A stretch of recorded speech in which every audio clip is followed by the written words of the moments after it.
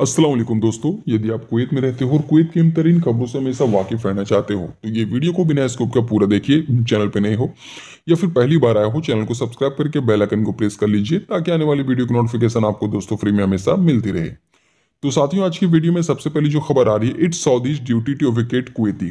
दोस्तों, आप लोगों को तो पता ही होगा कि सूडान में और इसराइल के बीच में काफ़ी तनावपूर्ण दोस्तों माहौल बना हुआ है, जिसके वजह से दो मस्जिदों में वहाँ पे कुछ लोग कुवैती कैसे थे जो कि सूडान में फंसे हुए थे? पर सऊदी अरेबिया की मदद की वजह से और सऊदी अरेबियन गवर्नमेंट की मदद की वजह से कुछ कुवैतियों को वहाँ पे निकाला गया। इसके निकालने के बाद दोस्तों कुवैत की तरफ़ से सऊदी हुकूमत को शुक्रिया अदा किया गया और, कहा गया कि दोनों दिस्तों में रिश्तों में और काफ़ी ज़्यादा बेहतरी पहले से आएगी। तो साथियों ये ये दोनों दोनों देश में काफ़ी ज़्यादा इससे दोस्तों रिश्ता बेहतर होगा क्योंकि कतर और सऊदी में पहले वैसे रिश्ते नहीं थे पर अब दोस्तों वैसे अच्छा होने वाला है। अगली खबर की ओर साथ में चलते हैं। अगली खबर दोस्तों जो है residency of over 1.5 million expert revoke in last three year साथियों आपको बता दूँ कि इंडियन कम्युनिटी की तरफ़ से ये बता इंडियन कम्युनिटी की तरफ़ से पहला जो first place among the community होता है, उसमें सबसे ज़्यादा कुवैत से जो है, वो इंडियन एक्सपर्ट को रिवोक किया गया, यानी निकाला गया, जो कि लगभग नौ लाख पैंसठ हज़ार सात सौ सात सौ चौहत्तर लोगों को अब तक निकाला जा चुका है। जो, और कुल मिला के दोस्तों 1.15 मिलियन, यानी मान के चलिए कि ग्यारह लाख पचास हज़ार लोगों को निकाला जा चुका है दोस्तों तीन सालों के अंदर। जिनमें से सबसे ज़्यादा जो था वो भारतीय भारतीय मूल के जो रहने वाले जो प्रवासी मजदूर हैं वो कुवैत से निकाला गया है। तो ये साथ ही ऑफिशियली मिनिस्ट्री ऑफ़ इंटीरियर की तरफ़ से एक आंकड़े के तहत दोस्तों बताया गया, जिनमें से सबसे ज़्यादा इंडियन इंडिया इंडिया कम्युनिटी के लगभग नौ लाख पैंसठ हज़ार सात सौ चौहत्तर देखा गया है।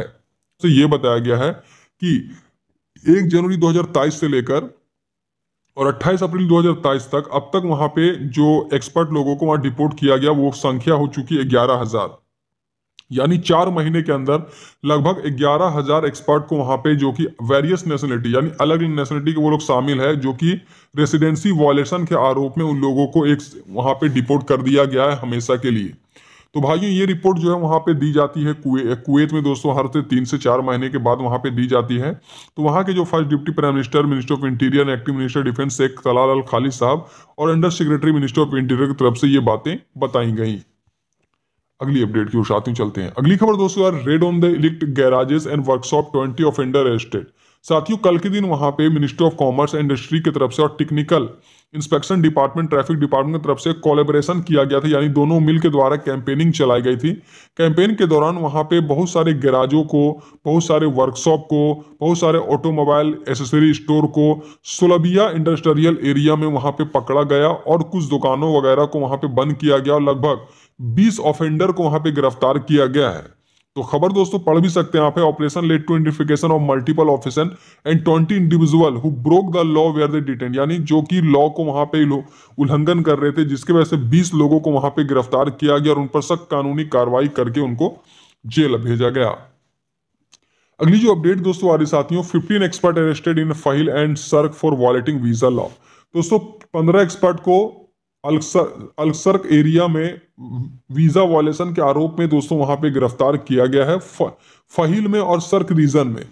तो दोस्तों ये कुछ खबरें थी, कुछ अपडेट्स थी जो कि कुवैत से आ रही थी, मैंने अब तक शेयर किया। आशा करता हूँ वीडियो आपको अच्छी लगी हो। मिलते दोस्तों नेक्स्ट वीडियो पे। जय हिंद, अल्लाह हाफिज एंड टेक केयर।